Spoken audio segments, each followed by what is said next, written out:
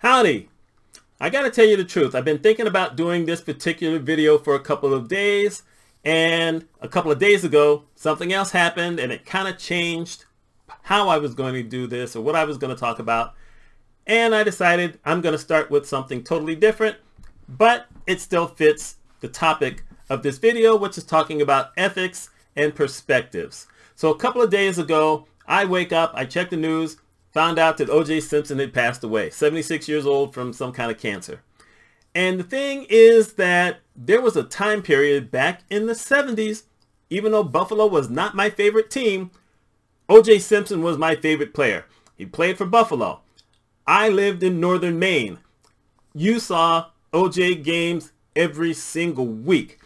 And one of those years, he broke 2,000 yards in one year. And that was back when you only had 14 games. So that was just amazing at the time.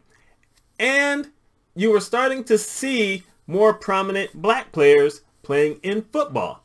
So he was a hero to me. He was a hero to a lot of black people. He was a hero to a lot of people up north. So even though they supported the Patriots, you know, O.J. Simpson, he seemed like he was one of us. I mean, Buffalo was getting a lot of snow. Trust me, where I lived, we got a lot of snow. And it was just one of those kind of things. And you know, for a while, that's all I knew about OJ. He got, you know, traded to one of the Los Angeles teams. I think it was the Rams at the time. And he was never quite the same. And then he ends up in movies. So now he's doing some, uh, you know, we used to call them the disaster movies. He's in a lot of those kind of things. Then he ends up in these comedy movies and whatever. And, you know, he was likable. So there was nothing, you know, we ever thought about. And then he wasn't in movies for a while. He did football on ABC on Monday nights. So, you know, he was just this guy that you just kind of knew. And then we heard about the murder of his ex-wife and his ex-wife's boyfriend. And you were just stunned. And this was breaking news. And no one knew where OJ was at the time. And then the next day, they, you know, found out where he was. He gets arrested. You have this trial. You have all the stuff that goes through. You had this thing with the Bronco. I'm sure a lot of folks may remember the Bronco. That was in 1994. So here we come up to 1995. And the trial is going on and they're trying to prosecute him in, I think it was the city of California, but it was actually the state that was trying him for murder. And it was interesting TV. We never saw anything like that on regular TV there was a channel that was called Court TV. And for a while, they were the biggest thing on TV because they came out around the time that this case was coming up. And OJ got acquitted. Now, here's an interesting thing. This is where we're going to talk about perspectives for a bit. I was one of those people who thought OJ was innocent. So when he got off, I was ecstatic. But I don't live in a black neighborhood. and where I was working was not a black community. So a lot of those people didn't understand. How could I be pulling for OJ? Why did I do that? It turns out that 70% of black people thought OJ was innocent. 73% of white people thought OJ was guilty. We had a problem with race relations back at that time. You know, we had things where, well, we had Rodney King. If you don't know about Rodney King, go look it up. But he was brought out of his car and he was beaten up by a lot of police officers. I mean, they just beat this man up and they got it on video. And initially, the people who beat him up didn't get convicted of it. And then they got him on, got those guys on something else and they went to jail. But that caused a major riot.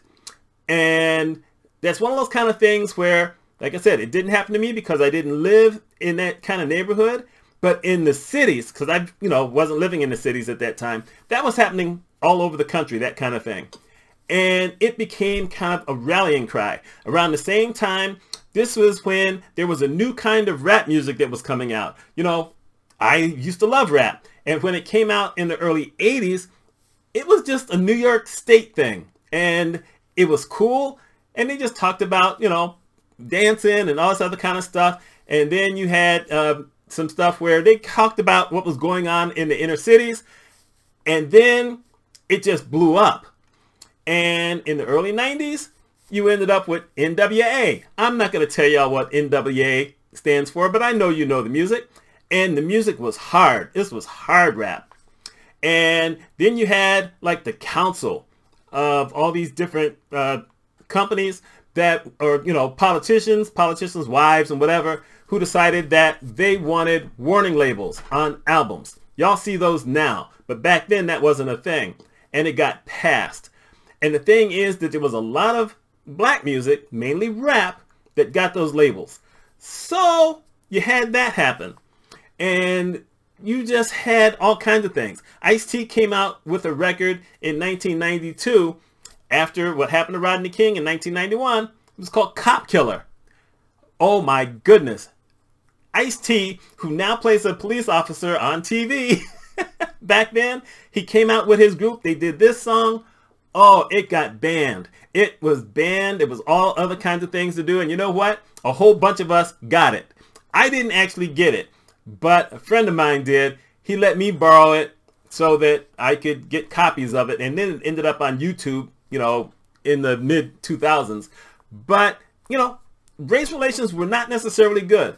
So when you saw everything that was going on with OJ at the time, you just said, you know what? They're just railroading him because he's a famous black man. They're going to find ways to try to make this, you know, all this evidence that they say they have apply to him. And it didn't work out. It did not work out for the state. OJ got acquitted. I'm not going to get into any details. Y'all can go look it up. Matter of fact, check it out on Wikipedia. It's a very interesting read. Thing is, we didn't have Wikipedia back then. So, you know, we, as a matter of fact, we really didn't have a web back then. We kind of had a little something, but we didn't have anything that talked about stuff like this. So, OJ got off. And then 10 years later, they did another survey. And 10 years later, 87% of white people said we think OJ is guilty. 73% of black people still think OJ is innocent. I didn't actually have a take at that time. You know, 1995, it was really bad. And, you know, that's just how things were. Getting into 2003, you know, I'm now a consultant. I'm working in a different kind of thing. I'm not watching as much TV as I was watching beforehand, except for Star Trek stuff. but, you know, I wasn't really paying much attention to it. Nothing bad had happened in 2003. The OJ thing, it was like, okay, that's old news. I'm not necessarily thinking about it. Until 2007. When you hear that OJ and some other people decided to break into this guy's apartment in Las Vegas and beat him up because OJ somehow found out that this guy got a lot of the stuff that used to belong to OJ because there was a civil suit brought against OJ after the trial by the father of the man who was killed, who was going out with Nicole Simpson, and Nicole Simpson's family.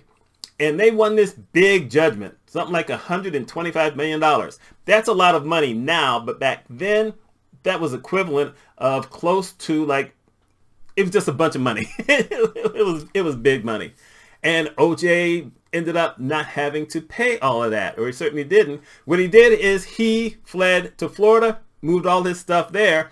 California could not get his money from Florida. They got some money, but they didn't get a lot of that stuff. But in 2007, OJ was arrested.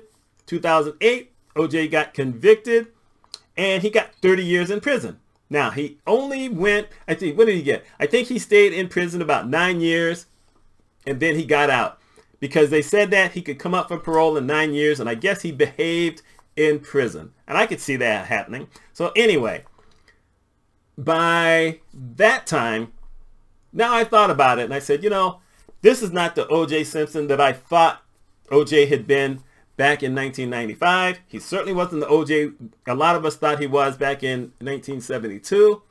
I said, okay, now he's showing me that he's capable of doing something that bad. In some ways, I still didn't think he was smart enough to have gotten away with it in 1995. Um, if he had actually done it, But you never know. Nothing said that it necessarily all had to be him. Some of the evidence was circumstantial. Some of it showed him. But you know, you can't have it both ways. But still, I started to change and say, you know what, maybe there's something about OJ. You just have to own up to that. But I had perspective. A lot of other people had perspective. White folks never changed though. so even now, you know, when he passed away the other day, it was mainly white people who were on threads, which is a social media site that's, you know, Facebook created. And they were still saying all these things. There was a whole lot of jokes about it, whatever. I've never made jokes about someone who passed away. But I said, you know what? It's probably better that OJ is, is gone because we don't necessarily need to talk about that anymore. And we didn't. But I had to talk about that first because that came up. What I really wanted to start with, and that's where I'm going now, and, you know, we got the chapters here, is about J.K. Rowling. I've done a lot of videos on this channel where I've talked about Harry Potter stuff. But I also did one of, I think it was last September, October, it may have even been August, where I talked about the J.K. Rowling situation. You know, she wrote the Harry Potter stuff. Uh, she helped to get the movies made. All this stuff was popular. She was able to get the rights for Universal to do what they did in Orlando. I got to go to the Harry Potter World. That's what I call it. I really don't know what they call it down there, but I just call it the Harry Potter World. I was fascinated by it. I am so deep into it. My goodness. I listened to all the books and I watch all the movies at least four times every year. At least four times every year, which basically says that sometimes I do a lot more. and in 2019, she got into this thing talking about how she didn't believe that in essence, there was such a thing as trans women, and she didn't believe that trans women should be able to use the same bathroom that women used. And she has just gone, in my terms, MAGA on this. And since she's British, and it's not necessarily a political issue, I'm just saying MAGA, you know, it's my politics. But she just has gone way off the rails. And it's just so much kind of hate coming out of her. Now, here's the thing. Ethically, if I follow stuff that I sometimes do, I should be getting rid of all the books. I should be getting rid of all the movies. And I should never consume any of that stuff ever again. I shouldn't have my Harry Potter shirt. Well, my, you know, the Harry Potter shirt. I, there's a lot of other stuff that I have. I shouldn't have any of that. That's the ethics part. But here's the perspective part. The perspective part basically says that I got invested in this in the mid 2000s. I started with the wrong book because I didn't realize they were all in order. So I started with book five, realized at a certain point, you know what, some of this stuff doesn't make any sense. And I knew I had to start from the beginning and then the first, you know, movies and whatever. So then I started watching all the movies. I loved all the movies, loved all the books, got embedded in all this kind of stuff. And I got to a certain point where even in 2019, I was really upset with what she was saying. But the perspective is that this was a point of view she had. When she initially said something, and I talked to a lot of women that I know, and most of them said they weren't happy with what she what she was saying, but they could understand her. They didn't agree with it, I mean, none of the women I asked agreed with her on it, but they understood it because it, you know, there's this assumption that you can always tell if someone is trans. Now, I was a music and history major in college, which basically says I spent a lot of my time in the music and drama and art building with all kinds of people. So I met a lot of gay people back then. I didn't, you know, we didn't really have trans, and I know someone's gonna throw up, you know, Renee Richards at some point. Y'all go look that up. You don't know who that is, but you know, my thought was, boy, I don't really know how to answer that because that's not anything that's going to impact me. I think that if someone believes that they're a woman, they had the surgery, they're doing everything else, they're taking, goodness, I can't remember the stuff that you know women take, you know, so that they can be more feminine just like the ones who want to be men and they take the testosterone so they can be more like men.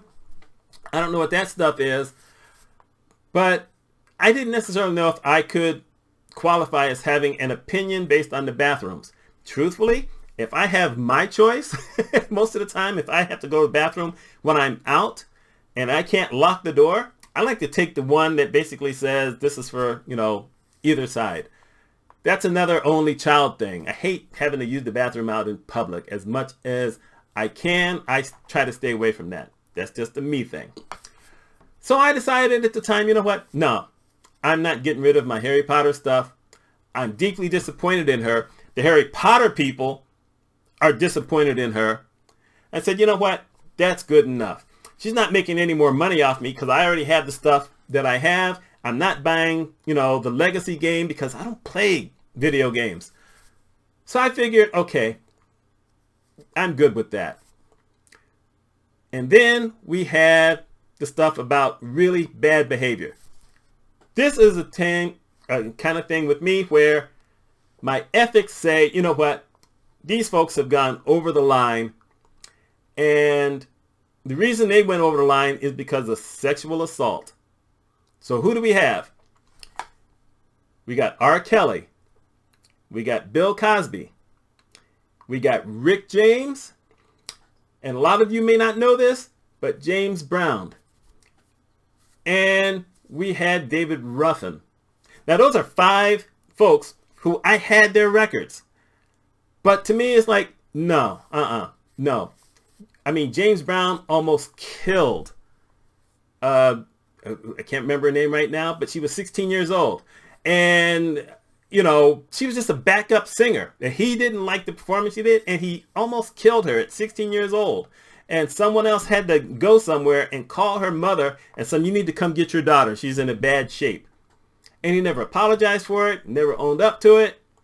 She didn't say anything, you know, mother just took her home. I said, nah, I can't, I can't deal with that. That's going way too far. So I threw out everything that I had of James Brown and Bill Cosby and all those folks because that's going over the edge.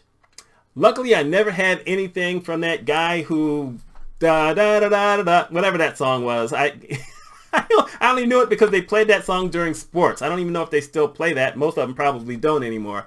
Because then you found out that this guy was molesting children in all different kinds of countries and I think he also did it in Britain. So he's been in prison forever. He's never getting out again. to me, it's like, no, that's really horrible. You know, one side person had has an opinion I totally disagree with, but I've already learned everything else. You know, I could tie her in with, um, let's see, Ender's Game and Orson Scott Card because Ender's Game, I found out from a friend of mine back in the 1980s. I love that book, love that story. So I bought the paperback book. Then I got the audio book. I've got it on my phone. If anytime I want to listen to that, I can do that. Ender's Game. I didn't do the other two books that followed that same trilogy, but the first one, I popped that in all the time. And around the time that they were getting ready to release the movie, he decides to pop up in San Francisco and try to get a stop that allowed gay people to have certain rights in the state of California. It's like, oh, God. So he put his sense out there, decided he was going to say this kind of thing. That turned a lot of people against the movie. The movie bombed. Now, I actually like that movie but they took some liberties that, you know, kind of messed up the book a little bit. So that's why I stuck more with the book. But still, I thought the movie was okay. But a lot of people boycotted it because he had something to say. And what happened? California didn't pass what he was hoping for. And then he came out and he said, well, you know what? It's a moot point now. It's not going to happen. I'm not going to say anything else about it. But the damage for a lot of people was done at that point. But you know what? Once again, that was an opinion thing. This is something that I had gotten to love since the mid 80s. So I still have that. Like I said, sometimes it comes down to perspective. What is it that someone would have to do for you to totally say, that's it? I'm done with it. My perspectives, the way I see it, is different than younger people. Younger people are ready to hate everything immediately. You know, you got this thing about cancel culture. But I don't necessarily go to cancel culture unless I have researched something or checked something out for myself. I need to know what it is. Because we had this story last week where Dwayne The Rock Johnson went on Fox Spews. Yeah, that's what I call it. He did an interview and he said one thing that he wasn't going to endorse anybody this, you know, this year for president. In 2020, he endorsed Biden, but he said that, you know, he had a problem with one little thing, so he wasn't going to endorse Biden. As a matter of fact, he didn't think he should be endorsing anybody else because of what he does. You know, you have this thing about cancel culture that's very, you know, dangerous these days. And I wished, he said, I wished after I had said that I was going to support Joe Biden in 2020 that I hadn't said it. And now I've just learned the lesson. So you're not going to hear me do that for anybody. And, you know, for some people in entertainment, they don't want to do that kind of thing because, you know, no one really wants to get canceled for stuff in that way. So he didn't want to do anything. I found out about it because I'm on threads and all of a sudden all these things are coming in against Dwayne Johnson. And I'm like, wait, what happened? I, I totally missed it. And that was on a Friday, but WrestleMania was starting on Saturday. So I said, you know, it sounds like a work to me. I'm not going to immediately hate him right now. I'm not sure that there's a reason to hate him. I don't know. But I want to see what happens after the weekend. So after the weekend, you know, The Rock was in WrestleMania. He did his thing on the, you know, the Saturday night. And then on on Monday morning, this thing came out where it showed what he actually said. And I've already told you what he actually said. He didn't say he was going to vote for the Orange Menace. He didn't say he was going to vote for Biden. What he said was, I want to keep this to myself. I don't want to publicly endorse anybody because there's no way you get through anything by taking a side. You're going to have one side or the other. It's going to be mad at you. I wish I hadn't done it before. I'm not going to do that anymore. I'm keeping this to myself. You can't hate anybody for that. Everybody does not have to give their opinion on everything. Sure, I have. I no, I'm certainly not voting for the Orange Menace. I, you know, any chance I get, I'm going after him. Not as much on YouTube, but still, you know, 91 charges. He's already been convicted of one thing. He's got his trial starting on Monday for something else that he's probably going to get convicted on. We still got the thing in Georgia. We still got the thing in Washington, D.C. And if Aileen Cannon stops being a fake judge, that's going to happen someday. I don't know. But I understand, you know, certain perspectives. Um, but, you know, that you just have to kind of see things a certain way. Now, for the people who are just saying that they're going to vote for the Orange Menace because they think he's this and this and this and this, and there's all this other proof that he's not any of those things, you know, I'm not doing that in this video. I did another video uh, that I may link to after this one, you know, runs through.